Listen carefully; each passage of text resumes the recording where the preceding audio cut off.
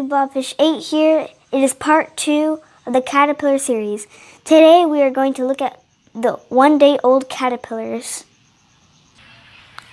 These are my one day old pet caterpillars. They are very small right now, but tomorrow they will be a little bit bigger.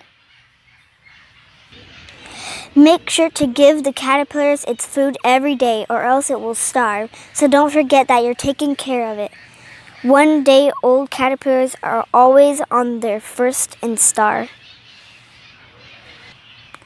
Remember that they're safe when they're in their jar, so things can't get to it and eat it. Thank you for watching. Please make sure to like and subscribe. Bye!